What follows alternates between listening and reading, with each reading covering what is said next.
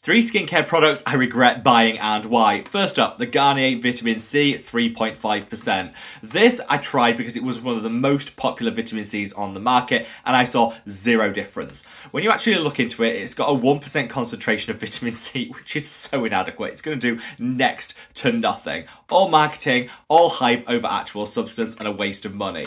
For the same reason, I'm including this product. This is the Olay Retinol 24 Moisturizer. When this launched, I said based on the ingredients alone, this is going to do nothing for the skin. You guys said, and rightly so, you can't declare that until you've actually tried it. Spent my hard-earned money on this one, used it for 30 days, still no difference. There's so little retinol in here. Again, all marketing, and I wasted like 30 pounds on this. Finally, we're going to come on to the Vanessa Wardle Luminosity Booster Serum. I actually love this. I regret buying it because I was in Portugal when I put it in my basket. Now I want to repurchase it and you can't get it here in the UK. A little bit of a disappointment.